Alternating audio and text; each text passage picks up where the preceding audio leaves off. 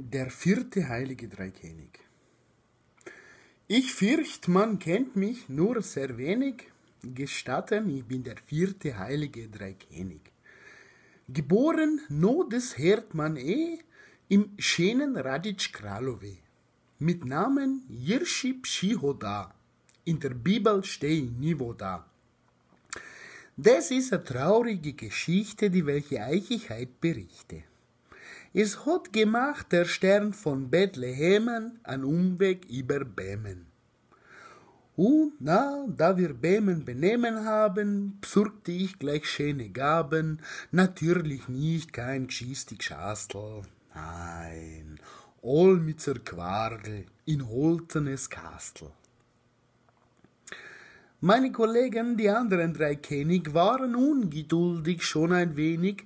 In Damaskus, sie mussten warten, bis ich gekommen bin von Norden. Und Schimpfer mächtig dorten kriegen. Naja, sag ich, kann ich vielleicht fliegen? Da sind wir scharf rechts abgebogen und nach Jerusalem gezogen. Das Wetter dort war wunderschön. Man hat die Sonne nur gesehen. Pröss im Banne, was sag ich Ihnen? Mein Quardel fangt sich an zum Rinnen. Der Balthasar hat gleich geschniftelt, was aus meinem Kistel da so diftelt. Ich hab zu ihm gesagt, du weißt nix.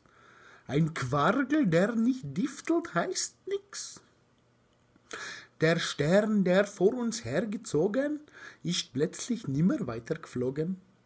Hat gemacht einen Bremser überm Stadel. Drin saß ein Bursch mit seinem Madel und in den Brambori-Kistel mit Stroh und Windel, da ist sich gelegen das himmlische Kindel. Meine Kollegen, der Kasper, Melchior und Balthasar, bringen Gold, Weihrauch und auch Myrrhe dar. Und ich bring Kastel Holzenes mit all mit ser Quarl geschmolzenes. Da sagt der Josef zu Maria, du Maria, Maria, ich möchte wissen, hat sich der Bub schon wieder angeschissen? Der Evangelist Matthäus hat gestrichen darum mich aus dem Weihnachtsevangelium ich fürchte, man kennt mich daher nur sehr wenig. Gestatten, ich bin der vierte heilige Dreikönig.